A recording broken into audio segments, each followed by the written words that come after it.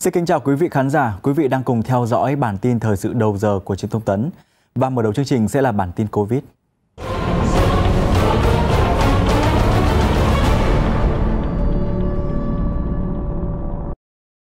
Ngay bây giờ sẽ là bản tin tổng hợp về Covid-19 được phát sóng 20 giờ hàng ngày trên kênh truyền hình Thông tấn. Mở đầu bản tin sẽ là những tin tức về tình hình dịch bệnh được cập nhật trong 24 giờ qua.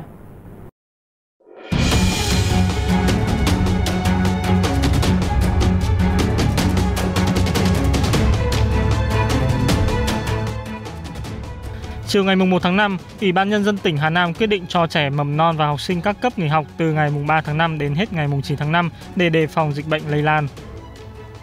Sáng 1 tháng 5, Trung tâm Y tế huyện Đông Anh, Hà Nội đã lấy mẫu xét nghiệm cho 144 trường hợp F2 trên địa bàn huyện liên quan đến 3 bệnh nhân tại xã Việt Hùng.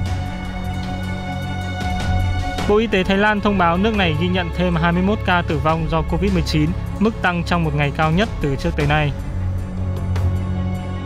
Thưa quý vị, thưa các bạn, hôm nay là ngày 1 tháng 5, ngày nghỉ lễ thứ hai của cả nước. Trước tình hình dịch bệnh đang căng thẳng tại một số nước lân cận và nguy cơ dịch tái bùng phát tại Việt Nam, thì dịp lễ năm nay nhiều người dân đã lựa chọn những điểm du lịch gần nhà để nghỉ dưỡng, tham quan thay vì đi xa. Các địa điểm du lịch cũng tăng cường các biện pháp an toàn phòng dịch.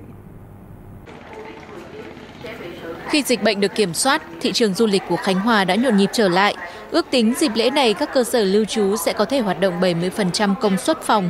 Đối với du lịch biển, các điểm tham quan, khu di tích cũng sẵn sàng cho lượng khách lớn. Hiện các đơn vị cơ sở du lịch đã chủ động các phương án phòng dịch. Và ngay từ khi ờ, chúng ờ, du khách và nhân dân vào cổng đã được yêu cầu là phải đo thân nhiệt và bắt buộc phải đeo khẩu trang khi vào khu di tích. À, ngoài ra thì trong phạm vi khuôn viên của di tích thì chúng tôi bố trí rất là nhiều khu vực uh, sử dụng người dung dịch uh, sát khuẩn để cho du khách và nhân dân uh, thực hiện cái biện pháp uh, chống dịch. Thì nói chung là mình uh, uh, tránh tiếp xúc đông người này, cố gắng uh, tối thiểu ấy, nếu có thể và đeo khẩu trang đầy đủ này. Khánh Hòa được biết đến với đặc sản du lịch biển. Do vậy, tại các bến tàu đón trả khách du lịch, các đơn vị cũng đã chú trọng đến việc thực hiện khuyến cáo và yêu cầu khách đeo khẩu trang trong hành trình, khử khuẩn khi lên xuống các địa điểm tham quan. Từ ngày 27 tháng 4, đoàn kiểm tra liên ngành do ông Đinh Văn Thiệu, Phó Chủ tịch Ủy ban Nhân dân tỉnh đã chủ trì kiểm tra, giả soát công tác phòng, chống dịch tại các cơ sở phục vụ du lịch, đảm bảo các quy định phòng dịch được thực hiện ở mức cao nhất. Sau khi Thủ tướng có chỉ đạo về tăng cường công tác phòng chống dịch bệnh, thì tỉnh cũng đã kịp thời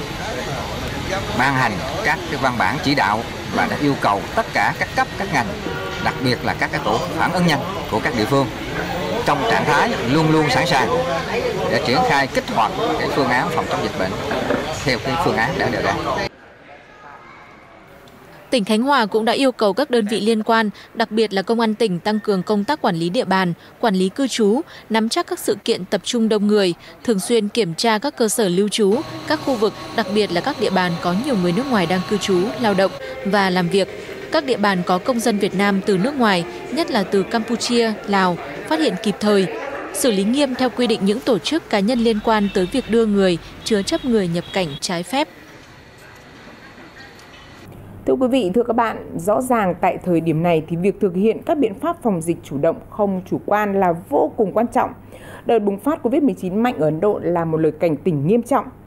Thế giới đã ngủ quên trước các cảnh báo từ quốc gia Nam Á và đang điên cuồng đối phó với các cơn ác mộng.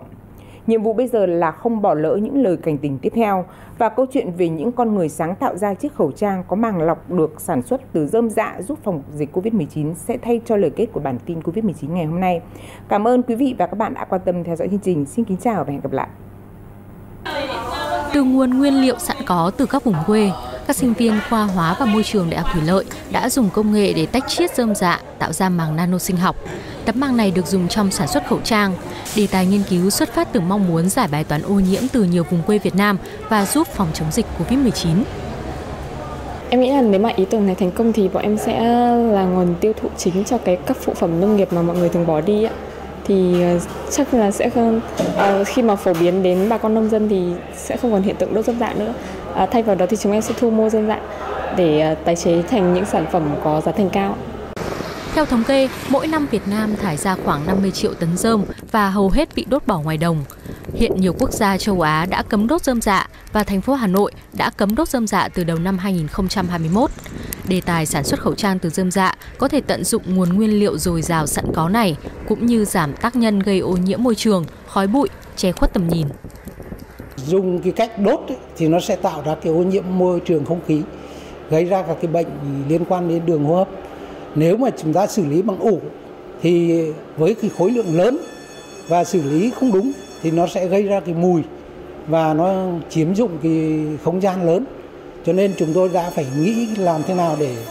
để sử dụng được cái rơm rạ đấy mà tạo ra những cái sản phẩm thân thiện với môi trường mỗi phút trên thế giới đang vứt bỏ khoảng 3 triệu chiếc khẩu trang. Rác khẩu trang gây ra các chất độc hại cho môi trường. Trong khi đó, khẩu trang từ dơm dạ không gây hại môi trường bởi chỉ cần thay màng lọc là có thể tái sử dụng, giúp giảm rác thải y tế.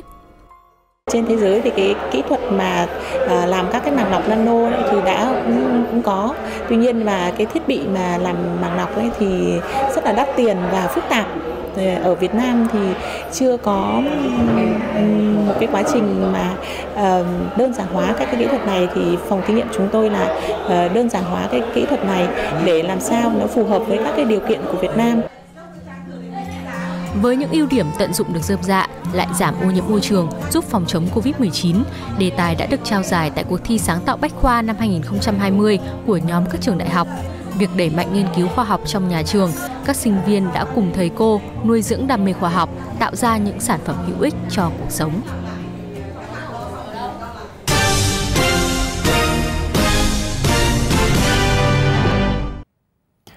Quý vị, cũng liên quan đến dịch bệnh COVID-19, Sở Giáo dục và Đào tạo Thành phố Hồ Chí Minh vừa có văn bản gửi Phòng Giáo dục Đào tạo thành phố Thủ Đức và 21 quận huyện cùng các đơn vị cơ sở giáo dục trên địa bàn thành phố về việc tăng cường công tác phòng chống dịch COVID-19 tại các cơ sở giáo dục trên địa bàn. Theo đó, các trường học trên toàn thành phố Hồ Chí Minh phải tổ chức nghiêm yêu cầu 5K của Bộ Y tế tại đơn vị, đặc biệt cán bộ giáo viên, nhân viên và học sinh sinh viên tuân thủ đeo khẩu trang ngoài lớp học Trường học cần tổ chức khai báo y tế sau đợt nghỉ lễ 30 tháng 4 và 1 tháng 5, ngay khi có cán bộ, giáo viên, nhân viên và học sinh, sinh viên di chuyển ra và vào thành phố Hồ Chí Minh. Sở Giáo dục Đào tạo thành phố Hồ Chí Minh cũng lưu ý, cơ sở giáo dục hạn chế các sự kiện, hoạt động tập trung đông người không cần thiết. Các hoạt động giáo dục tập trung đông người trong nhà trường phải tuân thủ yêu cầu, hướng dẫn của cơ quan y tế về phòng chống dịch.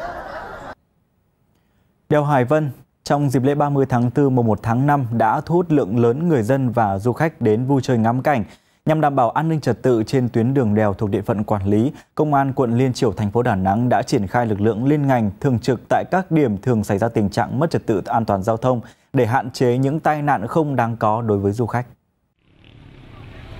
Tại khu vực đỉnh đèo Hải Vân, với nhiều hàng quán và điểm dừng chân Hải Vân Quan, các lực lượng chức năng liên ngành đã phải rất vất vả để đảm bảo an ninh trật tự. Các phương tiện có dấu hiệu vi phạm đều được nhanh chóng nhắc nhở để tránh tai nạn trên cung đường tập trung rất đông du khách trong dịp lễ 30 tháng 4, 1 tháng 5.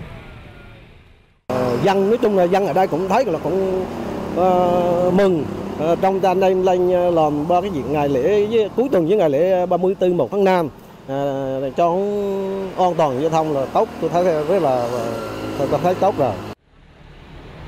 Bên cạnh nhắc nhở các phương tiện vi phạm an ninh trật tự, điều tiết giao thông, lực lượng chức năng tại đây còn xử lý kiên quyết đối với những đối tượng chưa đủ tuổi điều khiển phương tiện giao thông mà lại sử dụng các xe mô tô độ chế di chuyển nhanh trên đường rất nguy hiểm. Ngăn chặn kịp thời các cái nhóm thanh thiếu niên sử dụng xe ừ, đồ chế tụ tập lạng lách đánh võng và ừ, sử dụng các cái ờ, ờ, ống ờ, giảm thanh, không à, đảm bảo tiêu chuẩn để à, làm à, mất an ninh trật tự. Thưa quý vị, những phương tiện được các ờ, lực lượng chức năng liên ngành của ờ, quận Liên Chiểu xử lý thì các phương tiện đều đa số là đều được độ chế lại như thế này. Và theo ghi nhận của chúng tôi, hơn 50% ờ, những cái cá nhân, những cái đối tượng điều khiển phương tiện này đều không mang theo giấy tờ hoặc là chưa đủ tuổi để điều khiển phương tiện giao thông. Chỉ trong 2 ngày đầu ra quân, hơn 60 phương tiện mô tô đã được thu giữ, đưa về công an phường Hòa Hiệp Bắc để tiếp tục xử lý. Đối với các trường hợp không mang theo giấy tờ hoặc không đủ tuổi điều khiển phương tiện giao thông sẽ có mức xử phạt từ 2 đến 5 triệu đồng. Kiên quyết xử lý các trường hợp ờ, vi phạm trật tự an toàn giao thông đặc biệt là những chiếc xe mà mô tô ô tô khách và ô tô con là dừng đổ trên tuyến đèo gây mất trật tự và những chiếc xe mô tô Ờ, các đối tượng thanh thiếu niên là tụ tập ờ, đông ờ, để dừng đổ dọc đường Đèo Hải Vân từ lâu đã là điểm đến hấp dẫn đối với người dân và du khách, đặc biệt trong các dịp cuối tuần hoặc ngày lễ, nhiều nhóm bạn trẻ sử dụng phương tiện xe máy lên trên khu vực đèo để vui chơi, ngắm cảnh. Kéo theo đó, một bộ phận thanh thiếu niên đã lựa chọn các đoạn đường đèo để tập trung biểu diễn bốc đầu nẹt bô xe máy, chạy tốc độ cao gây ảnh hưởng đến an ninh trật tự tại khu vực này. Vào chiều ngày 1 tháng 5, Ủy ban nhân dân tỉnh Nghệ An và Công an tỉnh đã tổ chức tuyên dương và thưởng nóng cho các đơn vị đã có thành tích đặc biệt xuất sắc, nhanh chóng đấu tranh làm rõ vụ án giết người đặc biệt nghiêm trọng, làm hai người chết, đồng thời đã vận động thành công thủ phạm gây ra vụ nổ súng giao nộp vũ khí, kịp thời ổn định tình hình an ninh trật tự tại địa phương. Trước đó, như đã thông tin sáng ngày 30 tháng 4, sau khi nhận được tin báo của nhân dân về vụ nổ súng tại nhà riêng của Cao Trọng Phú, sinh năm 1962, trú tại xóm 7 xã Nghi Kim, thành phố Vinh, khiến hai người tử vong. Đối tượng nổ súng sau khi gây án đã cầm súng vào nhà cố thủ. Dưới sự lãnh đạo trực tiếp của Ban Giám đốc Công an tỉnh, các lực lượng Công an tỉnh Nghệ An đã khẩn trương bố trí lực lượng mạnh, triển khai phương án bao vây, cô lập đối tượng, bảo vệ hiện trường và đảm bảo an toàn cho khu vực xung quanh. Sau thời gian vận động thuyết phục đến 15 giờ 30 đến 13 giờ 50 cùng ngày, đối tượng Cao Trọng Phú đã giao nộp vũ khí ra đầu thú. Lãnh đạo công an tỉnh và phòng cảnh sát hình sự đã trực tiếp áp giải đối tượng về trụ sở cơ quan cảnh sát điều tra công an tỉnh để tiến hành điều tra xử lý theo đúng quy định của pháp luật. Tới đây chúng tôi cũng xin được kết thúc bản tin thời sự đầu giờ. Cảm ơn sự quan tâm theo dõi của quý vị và các bạn.